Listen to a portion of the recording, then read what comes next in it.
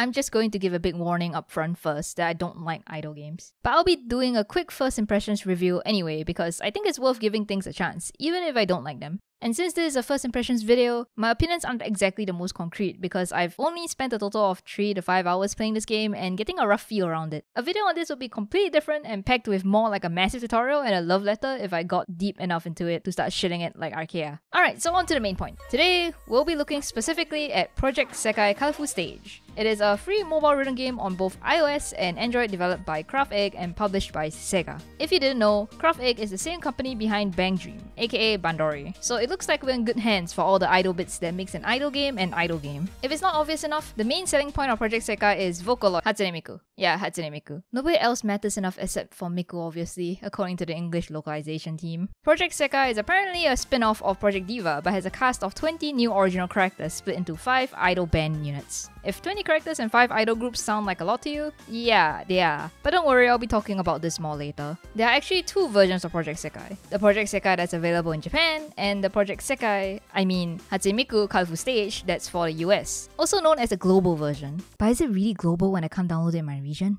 This sort of thing is pretty normal in Japanese games with gacha elements. I'm not 100% on this, but the last I remembered, it's because this is to help time the events in the game properly. Japanese versions are released first, of course, and are actually running for a few months already when the English versions are finally released. If you're not into getting the latest things immediately, the US version should be just fine for you. And because, well, it's also in English. Though note that the US Project Sekai is a year behind the Japanese version. The gameplay is extremely simple. You have your tap notes, your hold notes, there are also slides, and uh, flick notes. Also, there's hold release timing. Yay! Flicks normally point upwards. For those, you can flick in any direction and they'll count as a perfect. Though there are also other directional flicks in the game as well. Note for those that you have to make sure that you flick in the correct direction or you will only score grade. Normally, I really hate flicks, but in this game, they're actually pretty good. Most of the time, they're charted in a really fun way.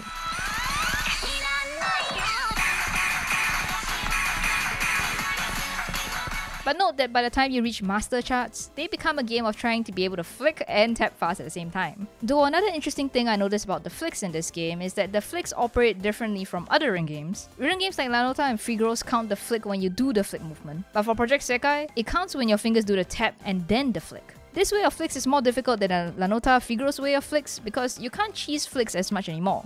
It's possible that this way of implementing flicks could be why the game doesn't feel like there's much audio delay between the hit sounds and the music compared to other in games. But it also could be very well because the audio engine is implemented very well in this game. Don't get me wrong, there still is audio delay, but it's mainly coming from my device side. I still had to set an offset if I'm playing to my tapping sounds instead of hit sounds, but the delay is quite small and the game feels fluid. Side note if you're interested, this game is a part of the On The Line group if it's not obvious enough, and well, it uses an audio offset. In Project Sekai, the size of the notes can vary, which makes for some interesting looking charts. Combined with the flicks all over the place, the game has a layer of reading difficulty on top of it. Hold release timing is, well, not fun in this game. Because I noticed in some charts, the hold notes are charted like slider notes in Osu Standard. An example is that they sometimes have the hold note and on a new beat like some Osu Standard songs do, which makes the game feel off when you play without hit sounds.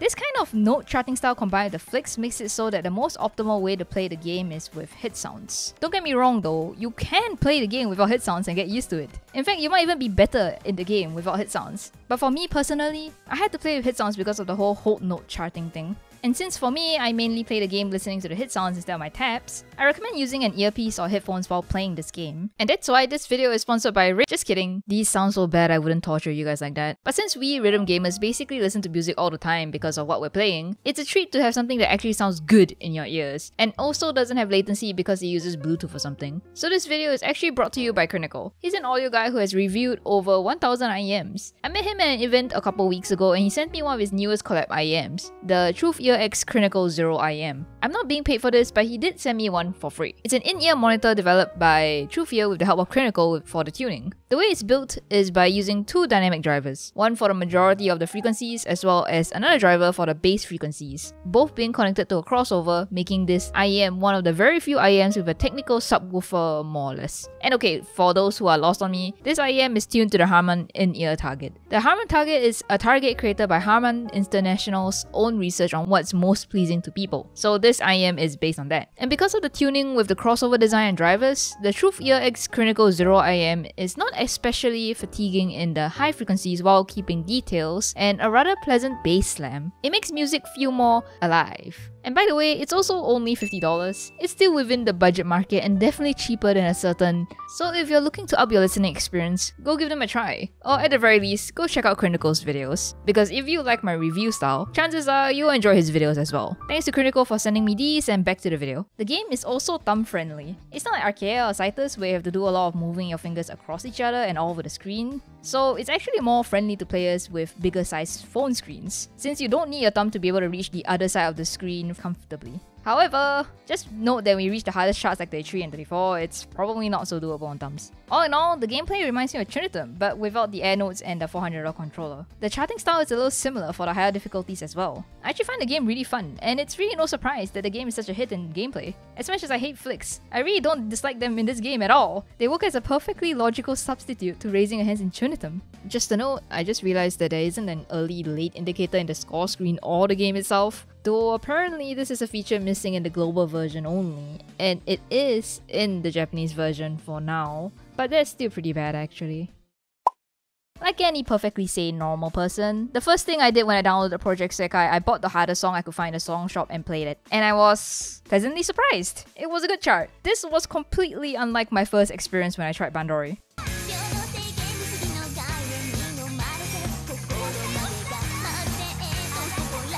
What the fuck is that? To be fair, in Bandori and a lot of other rhythm games' defense, the first few charts they give you on default are usually their oldest charts. Old charts tend to be quite bad because the charters are still trying to get a hang of charting in their respective games, which makes the Project Sekai first experience even better. Chances are either Sega had a lot of control over the game, which makes sense to why the charts are higher quality and feels like a mobile Chunithm, or the people assigned to charting from Craft Egg are already experienced charters themselves. The other impressive thing about the game was the fact that I got one of the most difficult songs within the first 5 minutes. Project Sekai doesn't restrict you in what order of the songs to get, so you could start the game and just get anything that's difficult or what you like without paying a single cent. This is something that's pretty rare in other non-community run rhythm games and I really like that. The three most difficult charts right now on Global are rated difficulty 33, and they're Intense Voice, Disappearance, and 6 Trillion Nights. I wouldn't say they're overcharted because for the songs that they are, it's to be expected to be very difficult. Though on the Japan version right now, they have more difficult songs than that, with a master rating of 34 to them. They're mostly collab songs with other Sega rhythm games like Chunithm, Ongeki, and maimai. The other thing that Project Sekai doesn't restrict you is on retrying songs, and that's because the energy system in this game isn't tied to how much you can play. Yep, you can have zero energy and still play songs. Energy is just used to boost the amount of rewards you get when you finish alive, which is a blessing.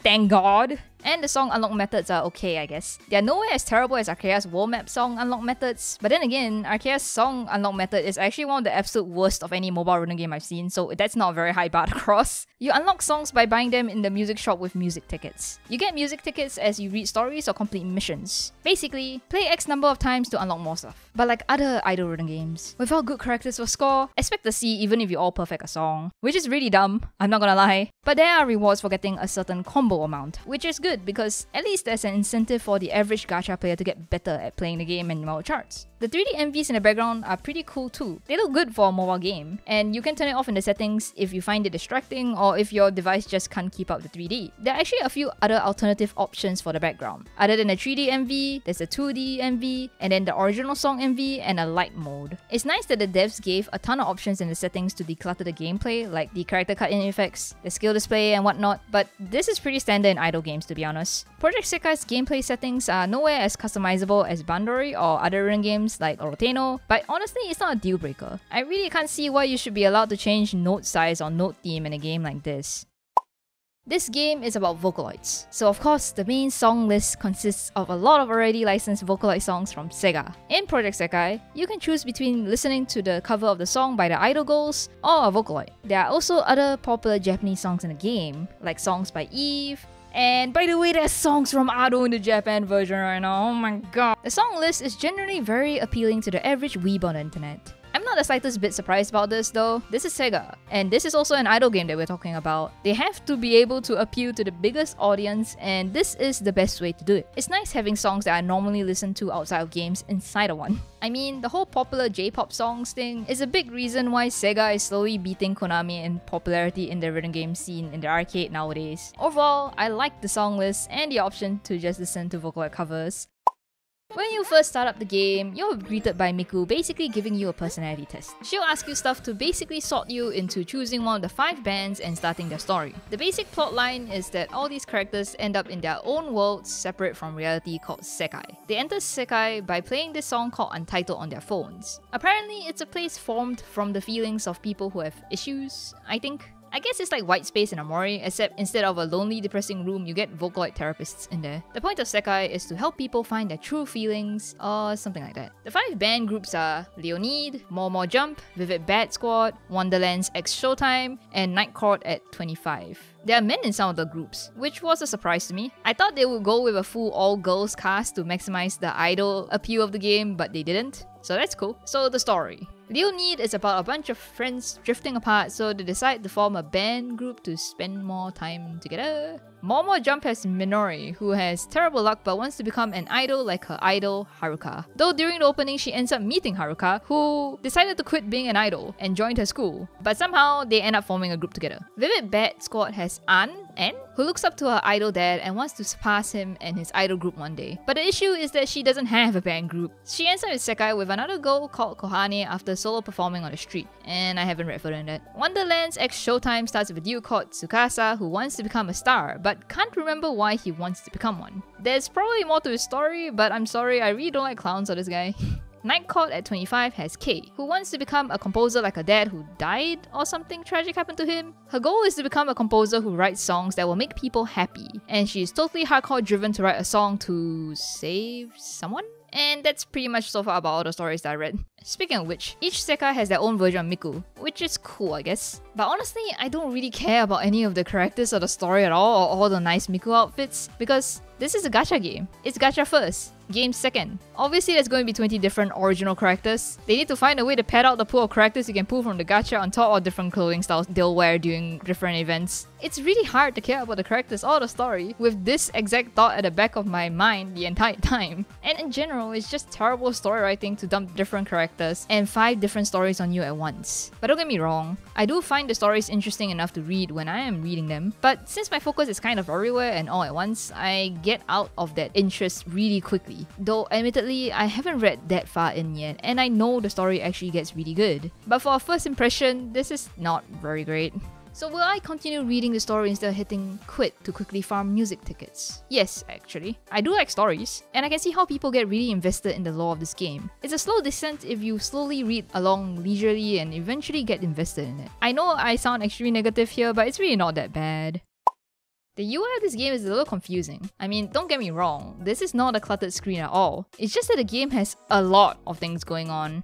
Wait, but maybe the UI isn't confusing. The game is just confusing. So let's see. The team composition when you play different songs with different characters all different benefits such as maximizing the score and getting event points. It's also able to band power you can get by leveling up specific area items, unlocking card stories, or leveling up the card's master rank. Or I forgot to mention that the gold slash members come in the form of cards which you pull from the gacha. Like all gacha games, you can't get a card one depending on the season. What you have going on is a roll of dice to what you're getting, and there's also a typical gacha style rating system of one for rarity, and as to be expected, the gacha percentages are low for the cards, and they have their own currency which is crystals that you can buy from the cash shop to pull characters or use the gacha to pull characters. And each has a different skill, and the better and rarer cards can have more than one skill. The five skills and which all different things. Ice scorers have the highest score boost win next. Speed scorers come second, and scorers third. Healers and perfect have a lower max boost, but give you more health, and you will last in the song, so enjoy being the game for longer. But they actually use to more for tertiary carnival events where having at least 1000 HP will give you more event points, and perfect will change good or bad notes into perfects for short duration, so you can flex all perfect scores without actually being good at the game. There are three things that you train your card in, which is card level, skill level, master rank. You can increase the card's BP and mastery by reading the card stories, and write card stories can be read any time from the card screen by cost items to read, and you only be reading the first one, and then only can read the second one when you max the card's level, which costs you more items. And then when you've read the card stories, you'll clear character missions and all right character missions. There are basically nine missions you can do that contribute to the experience towards the character's rank, which are the leader lives, card stamps, area skill level, master rank, and side stories. It's a way to show dedication to character or way for farm walls, crystals, and stamp exchange tickets or character fan title whenever you increase character's rank. And if you want to level up a card, you can do that by just playing normally, and the experience how many boosts you are using. And the other way is use experience sheets to level up straight away in the lesson training screen. If you have three or four star card, you can further train it over the max level limit by 10 levels and unlock new card art. But note that when you do this, you need to make sure the cards either max levels and you have enough attribute gems. And alright, I forgot to talk about upgrade materials. In general, in the game, you can get item drops you complete a song, and you can get upgrade materials from the top of your cards, but you can also buy them in event shop or cash shop, and the other items you can get are items that also increase the power of the cards based on characters, attributes, and units. Area items can be upgraded, which require coins, attribute pieces, and attribute gems, and wish drops and mysterious which are all rewards you can get from finishing songs and completing missions and right attributes. Are different attributes cards can have, cute, cool, pure, happy, and mysterious, and they don't affect gameplay except being matched up with items of the same attribute level boost. When you have a high enough power over 150,000, you get into the veteran room where all the players have high band power teams too, and you get more rewards and drops when you play there. But not part of the cool veteran club of people who have spent way too much money on time getting high band power. You can also boost rewards by playing a multiplayer life. If you're playing solo, and also follow events just stuff that are time sensitive, which is why your game fortune style the day different from when you left the game, and like every event is already a gacha game. You'll be very familiar with the screen, where you're always wondering if you enough space left in your device. Basically, event You see what I mean by confusing now, right? I don't even understand half of what I just said. Though In the end, is to be expected of a gacha game. They usually have all kind of extra fluff on top of it, where it basically amounts to a card building stat game that is also dependent on season time-based events. But if you're familiar with games like these, none of this should be that confusing to you and quite standard to be honest. I'm not someone who plays gacha games myself, so I genuinely found it extremely confusing, especially since the game lacks tutorials and explanations outside of the actual rhythm gameplay. Don't get me wrong, they do have these banners when you click around on a new screen, but it's extremely simplified and it just leaves me more confused than I was before. Another example of bad UI choice for beginners and familiarity is when you want to do something and it shows you that you can't do that because you don't have an item. Naturally, you would tap the item icon to find out what it is and where to get it, but nothing happens. In the most technical sense, this is a rhythm game, but it's also a rhythm game that doesn't really care about the typical player improvement curve. Like gacha games, the actual gameplay is just there to pad the gacha. I mean, there's the typical everyday login bonus, everyday mission bonus, there's even an autoplay function here like Raid Shadow Legends. And alright, they also have a battle pass system.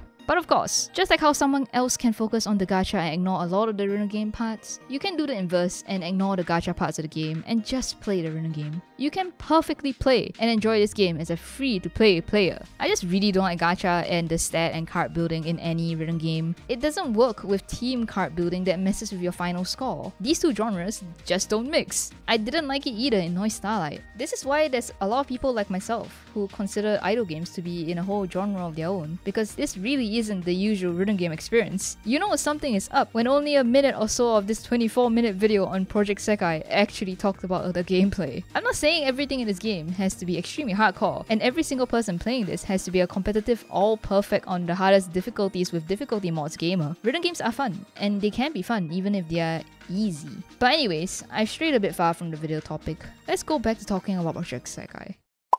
Project Sekai is quite an interesting gacha idol game where the gameplay part is actually really, really nice. As much as I made Project Sekai sound like other gacha idol games where they put the gameplay on the back burner, Project Sekai excelled at its rhythm game parts. It's like to the devs, the game mattered a lot as well. The charting is nice, the engine is really good, and the experience, ignoring everything else, is extremely enjoyable. Project Sekai is in this really weird spot for me where half of the game works out so well, and I would daily drive the game if I had the time, but the other half is just really not for me. but overall, Overall, the game is extremely casual friendly with how it's beginner and thumb friendly. It has very popular Japanese songs in it. It has waifus and it's free to play. I'd say my overall experience with the game was still a positive one. Maybe in the future, when I'm bored, I might properly start looking into the cards, characters, and items and all that. But that's not something I can see myself doing anytime soon. TLDR, the game's alright. And that's it for the video. Let me know in the comments what you think about the game and whatnot. Hope you guys enjoy it. See you guys next time.